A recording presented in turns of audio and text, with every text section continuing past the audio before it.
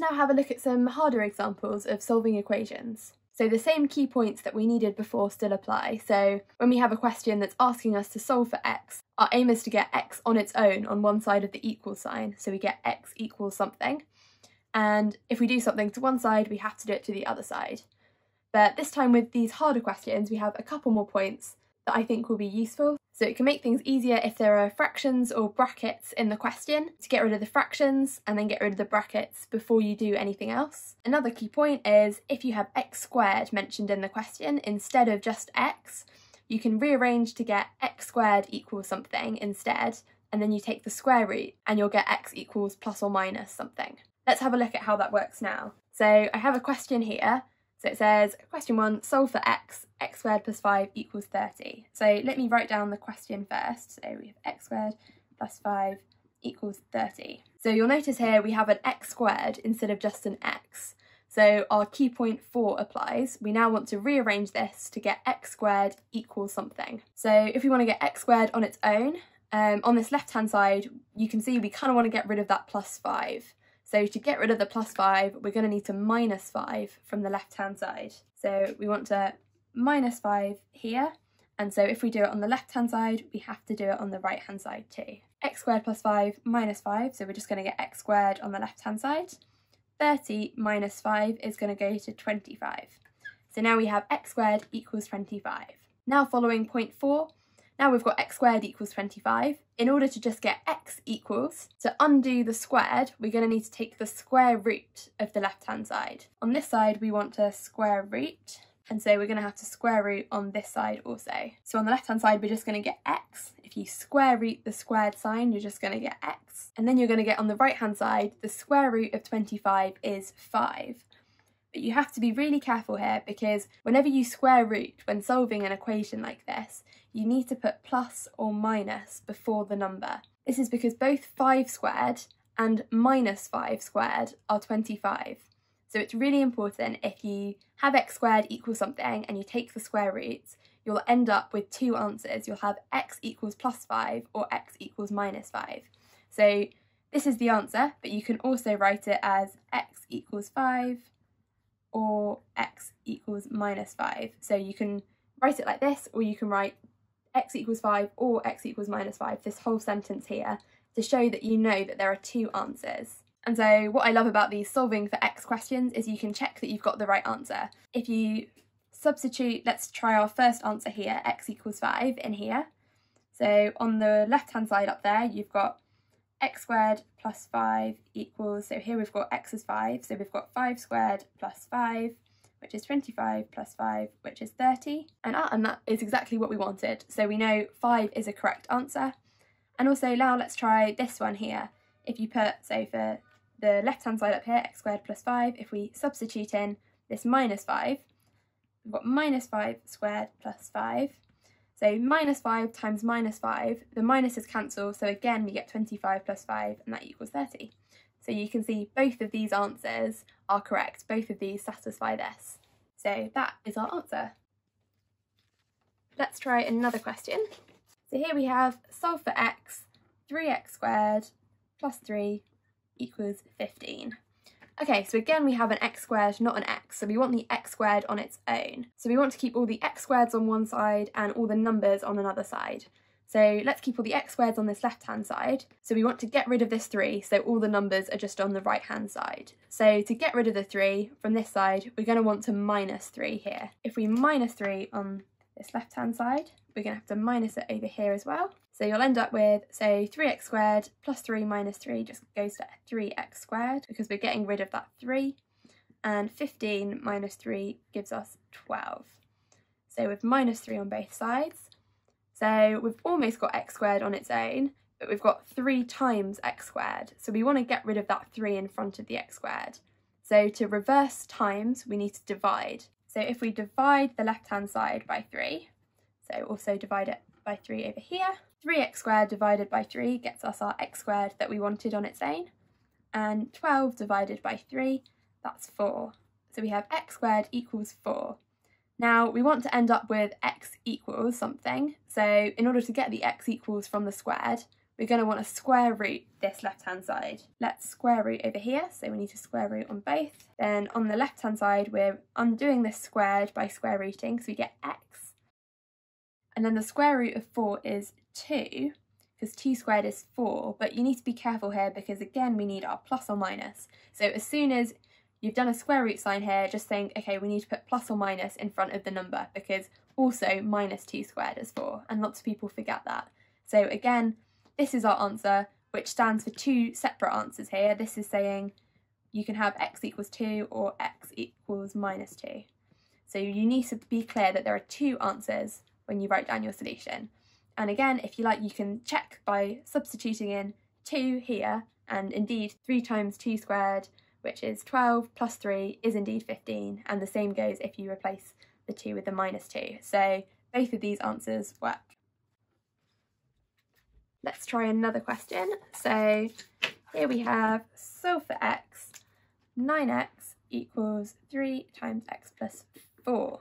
Okay, so we don't have an x squared, we're back to our usual x scenario, um, but we do have brackets. So we want to look at our key point 3 that tells us to get rid of fractions and brackets first. There are no fractions, just brackets, so let's get rid of them.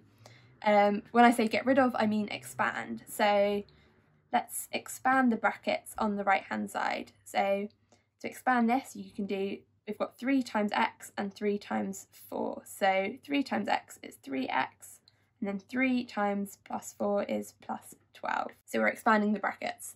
Okay, so now we want to do our usual tactic of getting all the x's on one side and the numbers on the other side. So let's get the x's on this left hand side. So we want to get rid of the x's on the right hand side. So to get rid of this 3x, we can minus the 3x from this side. So if we minus the 3x here, and so we also do it over here, we're going to have 9x minus 3x equals 3x minus 3x, they just cancel to 0, so that equals 12. And we can simplify this because you can combine terms that both have an x in. So 9x minus 3x is 6x equals 12. Okay, and now we want to get x equals something without the 6 in front of it. So because this is 6 times x, to get rid of the 6, we're going to want to divide by 6. So left hand side, 6x divided by 6 is just x. 12 divided by 6 is 2, so the answer is 2. And again, as always, I really recommend checking this by substituting in 2 on both sides of this and making sure they're equal. Let's try another question. So this question says solve for y, 6 times y plus 1 equals 18. Don't be put off by the fact there's a y instead of an x, it's just exactly the same thing, we just want to end up with y equals something instead of x equals something. Okay, so again there are brackets, so it falls into our key point 3, get rid of our brackets first. So let's expand the brackets. So here 6 times y is 6y, 6 times plus 1 is plus 6, so we're expanding like this that equals 18. So now we want to collect the y terms on one side, numbers on the other. So if we collect the y terms over here and the numbers over here, this plus 6 we don't want on this side. So in order to get rid of the plus 6 here, we're going to want some minus 6. So let's minus 6 here. So we need to do that over here too. 6y plus 6 minus the 6 just goes to 6y so we're getting rid of that 6. 18 minus 6 is 12 and we're almost done. We now want y equals something on its own, so to get rid of the 6 we're going to have to divide by 6 over here, and so we do it over here as well. 6y divided by 6 is just y, which is what we wanted, and 12 divided by 6 is 2, so the answer is y equals 2. And again, we can check that really quickly. y plus 1, so 2 plus 1 is 3, 3 times 6 is 18, so we're good.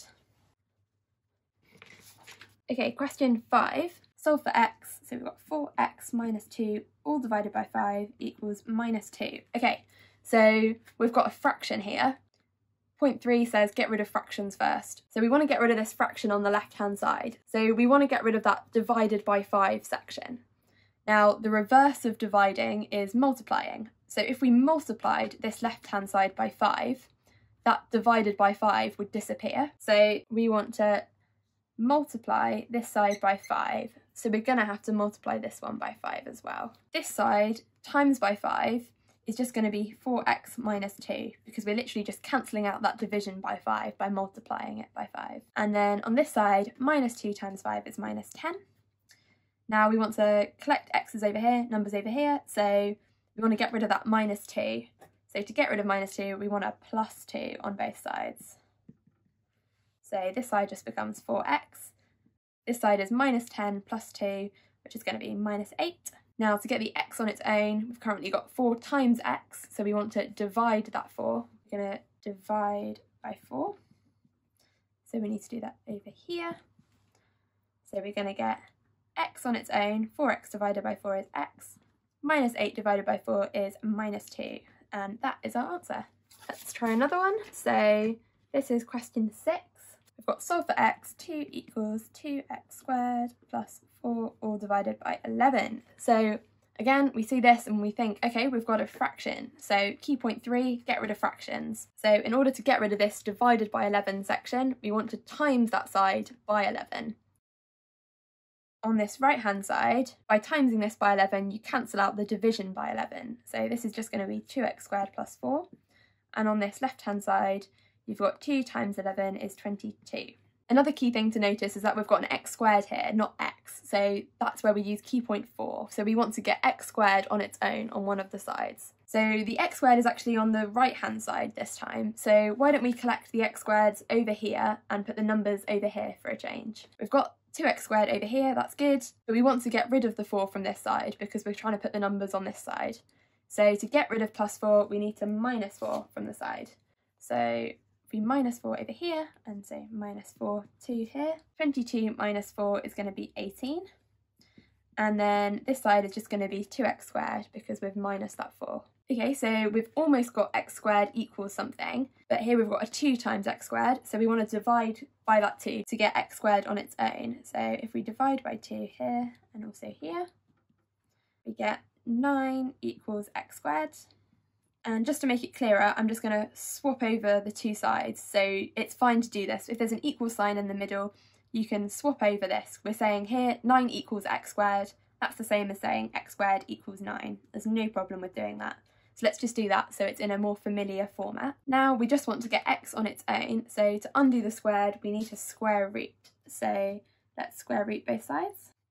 So this side is going to be x, and then square root of 9 is 3, but we've got to be careful because it's actually plus or minus 3. And so this is our answer. So again, there are two solutions, x equals plus 3 or x equals minus 3. Both work in here, and so you need to be really clear that you're saying that there are two solutions, plus 3 and minus 3.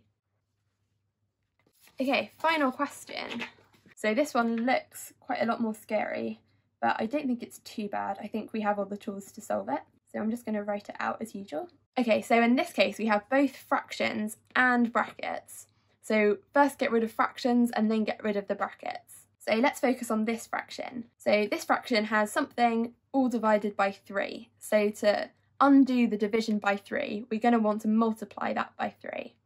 So if we multiply this by 3, we're going to have to multiply all of this side by 3 and also this side by 3. So we're going to times everything on this side by 3. So this term here, the 2 times x plus 2 divided by 3, if you times that by 3, you just get the, the thing on the top, the 2 times x plus 2, and because the times 3 just cancels out that division. 4 times 3 is going to be 12, so we've got plus 12. So that's this side times by 3 this side times by 3, I'm just going to write it as 3 times, so if we do 3 times the fraction, it's going to be 3 times the thing on the top over 2.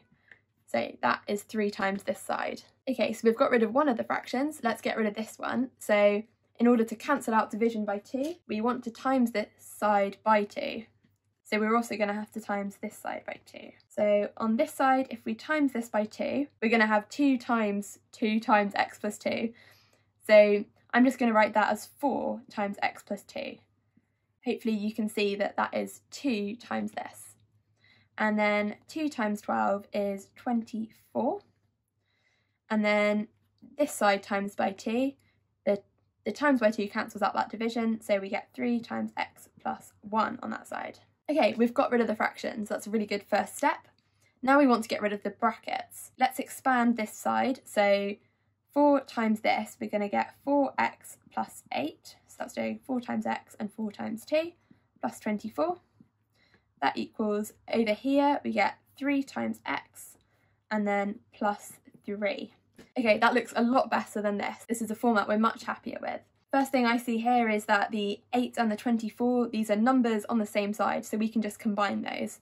So let's just rewrite that. So 4x plus 8 plus 24 is 32 equals 3x plus 3. Now let's collect all the x's on one of the sides. Let's choose this left-hand side. So we want to get rid of the x over here. So to do that, we want to minus that 3x on both sides. So over here, we're going to get the 4x plus 32 minus 3x equals the 3x we minus away, so we just get 3 over here. We can combine this 4x and the minus 3x because they're both x terms. So that gives us x plus 32 equals 3. And hopefully you can see from here, we want to put the numbers on this side. So in order to get rid of the number here, we want to minus 32. We're going to get, on the left-hand side, we get x. And on the right-hand side, we have 3 minus 32, which I think is minus 29. Yeah, so again, we've got this answer, we've got it in the right format, x equals something, so that is our solution, and as always you can check it in there, if you have a calculator in an exam you can just whack it in the calculator and see if when you put x equals minus 29 into the left hand side you get the same answer as if you put it into the right hand side. So now you know how to solve equations when there are fractions, brackets and if you have a squared sign in them as well. Thanks for watching, here's another video I think you'll like. Here's another video YouTube thinks you'll like. I have no idea what it is, maybe it's good, maybe it's not, who knows? If you like this video and want to see more aesthetic messy videos, do check out my channel and subscribe!